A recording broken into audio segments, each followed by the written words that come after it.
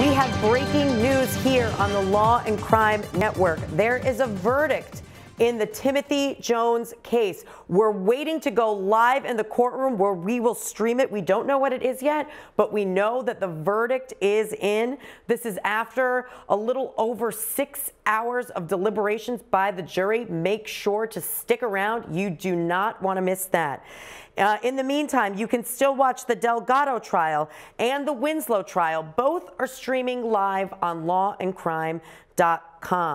Uh, also, we're going to review some of the Jones testimony now while we wait for that verdict to be read in the courtroom. This is the prosecution's closing arguments. Take a listen. That's the prosecutor's hard hitting closing arguments in the Timothy Jones case. I have Joseph Scott Morgan here to help break down some of what we saw during that case. He's a professor of forensics at Jacksonville State University. Joseph, thank you so much for being with me here today.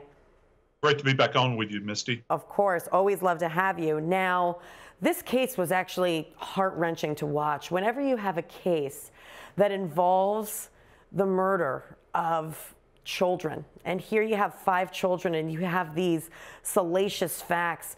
Uh, you know, the defendant driving with their bodies in the car for nine days. This is a very difficult case for a jury, no matter what's presented. And here, they have to make a decision about insanity. What did you make of this case?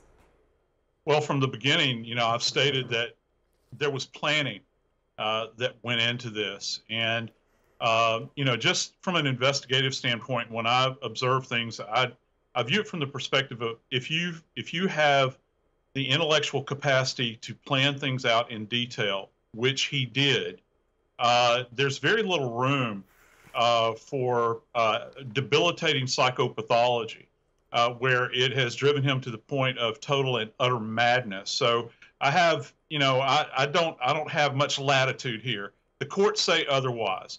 But when you have made lists, uh, when you've purchased items, uh, when you have gone to certain locations with specific intent, um, uh, it, it just it goes beyond the pale. And unfortunately, we're seeing more and more of these cases nationwide. Yeah, we really are. Um, and and the insanity defense is a very difficult one to to raise. Yes, now we are going to court. It looks like there's some activity in the courtroom. We're going there live now.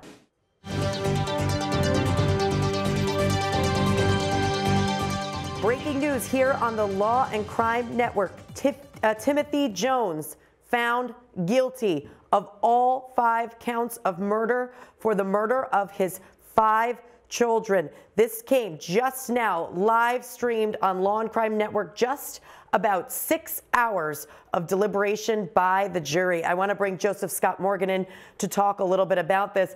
Joseph, I think you hit the nail on the head.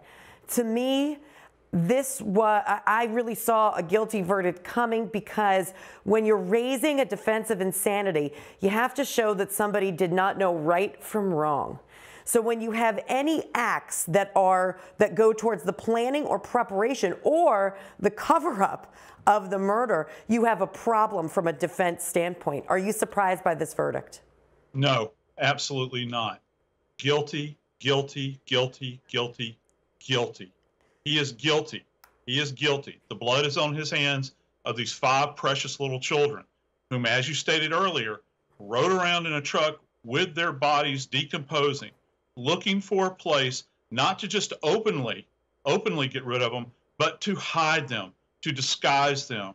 He even showed up with muriatic acid to clear the van up. At one point in time on the list, it was noted that he wanted to dissolve the bodies, uh, which to me is just striking. He bought a hacksaw.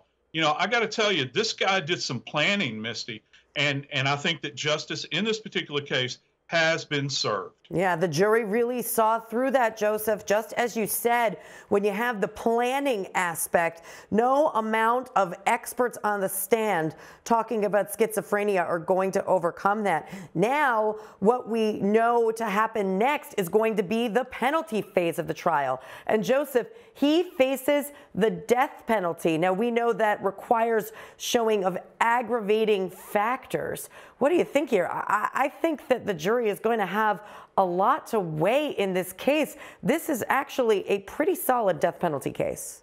Yeah, I think that it is. He he faces the death penalty, Misty, uh, in Mississippi.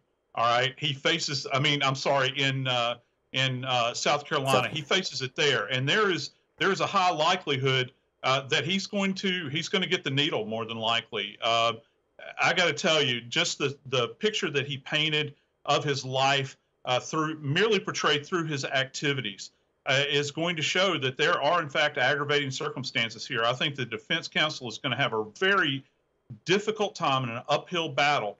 You know, keeping keeping the judge at bay or the jury, whoever makes the final determination, the judge will make the final decision, uh, keeping them at bay as we move down the road with this case. Right, because they'll have the opportunity to present these mitigating factors, and some of that is going to be about uh, about mental capacity and whatnot. But obviously, the jury did not buy that insanity defense as predicted. Joseph Scott Morgan. We have to go to a break. Make sure to stick around. We'll have more on this when we return.